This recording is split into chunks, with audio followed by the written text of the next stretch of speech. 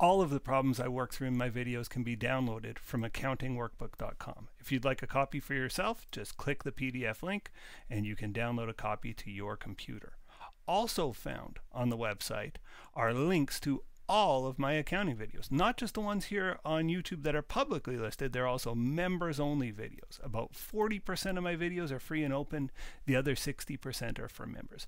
If you click one of the members links, it'll take you to a page that looks like this, says members only content. If you'd like access to that content, just hit the join button. Okay, let's jump into the problem.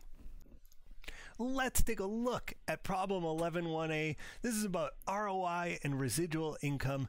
These are what I would call summary measures of performance. You want to know how your company's doing in one number? ROI is a very common one.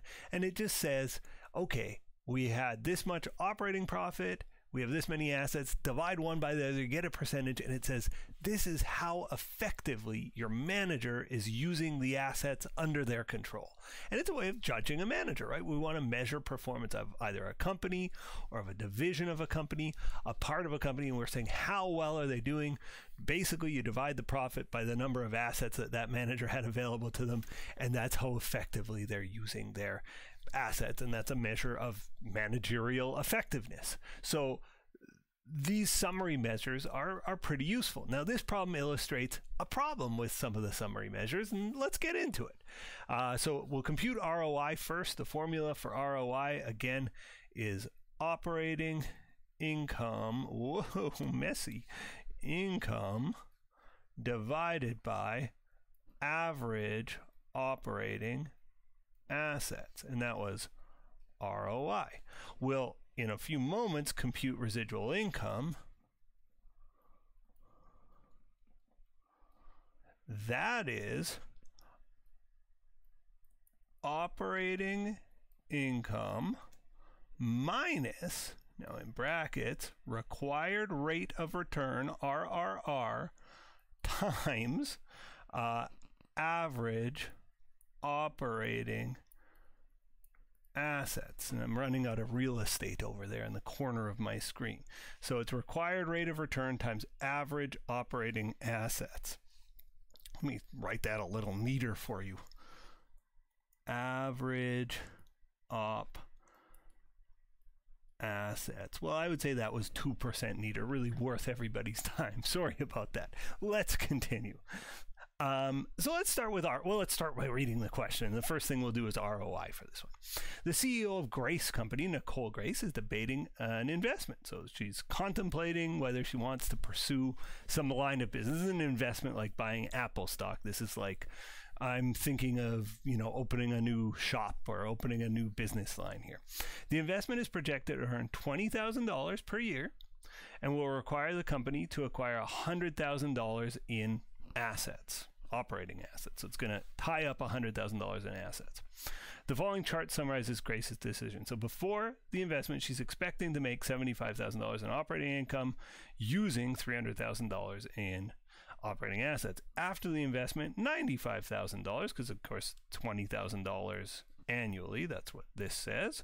And the total assets under her control will be 400. In other words, it's an increase of 100K. That was an increase of 20K to get to uh, 95. So there we have it. Now it says, assume Grace is evaluated based on growth in ROI, which would not be unusual. You want to see your managers have ROI that's big and getting bigger, right? You want to be making more money, and an ROI is a measure of how efficiently Grace is using her assets. Uh, so let's measure ROI before and after. So we're going to go ROI before and ROI after. And again, the after is everything goes according to plan. She makes the 20,000 on the $100,000 investment in assets. So ROI before operating income divided by average operating assets 75,000 divided by 300,000 ROI after 95,000 divided by 400,000. Okay. 75 divided by 300 gives us 0.25. 25% is her ROI. If she takes this opportunity, 95 divided by 400, 23.0.2375 or 23.75%. Okay. Now we're Grace and we're uh um what's the word? judged, we're reviewed based on ROI growing. So in this case, ROI goes from 25% to 23%. Should we do it? Probably not. Now, this is where I was mentioning these single measures can mess people up because I think the company would like to make more money. And if you have an ROI goal and you're tunnel visioned on that ROI goal, it will cause you to turn down things that would make your company more profitable. And so these summary measures are great because they measure things quickly. It does give you a good idea of how efficiently this person is using the company's assets. However, I think it, you know, a disadvantage here is we turn down profitable work potentially. Residual income tries to get around this. It says, okay, we're not that interested in just maximizing ROI. We want to make profitable decisions. We want to maximize how many profitable decisions we have. So the formula for residual income is operating income minus I said RRR, required rate of return. What a required rate of return is is the company eh, has a limited amount of money. They can invest in various, you know, opportunities and min- limited amount of assets to invest in those opportunities. And they'll say, listen, if this opportunity, let's say it's profitable, it is only going to make us 2%. Well, I can make 2% in like a high interest savings account five and, you know you invest in some new line of business it's risky. You got to overcome the risk. You got to overcome the fact that i can you know buy an index fund in the stock market and probably get 8% on average. So you're going to have to do something to, to make a company wish to invest. And so this company's required rate of return is 15% so you're saying we're not going to invest in it unless we think it can return us 15% annually. So here's how it works residual income. Maybe I should read the question. B. It says assume Grace is evaluated based on growth in the company's residual income. The company's required rate of return is 15%. Compute the residual income before and after. So residual income before is going to be uh, again operating income, which was $75,000 minus and then there's that little formula, required rate of return times average operating assets. So 15% times our average operating assets, which were before were 300,000.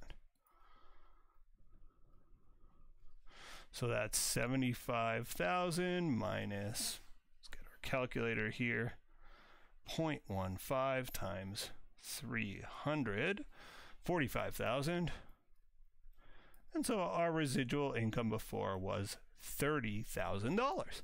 Now that's a number, it's not a percentage. We just want that number to be bigger. Every year we're just hoping, do I have more residual income, like more leftover income? That's what we're looking for. That's it.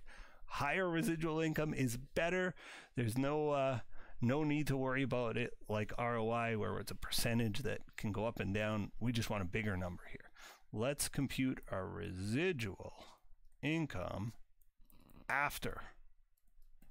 So our residual income after is going to be uh, 95,000 minus, and I'm going to do this in my calculator. It's 15% times the new operating assets. 15% times 400,000. 0.15 times 40000. 60,000. That is our calculation. And again, that was 400,000 times 15% or RRR. So 95 minus 60 is 35,000. This produced a higher residual income. So we would say, Nicole, Grace, you should do it. We recommend you make this investment. Gives you high residual income and presumably a bigger bonus. Or if this is your own company, you're making more money. It's worthwhile. The final question is give at least one advantage or disadvantage of using measures like ROI or residual income. Now, these are single measures meant to summarize complicated situations.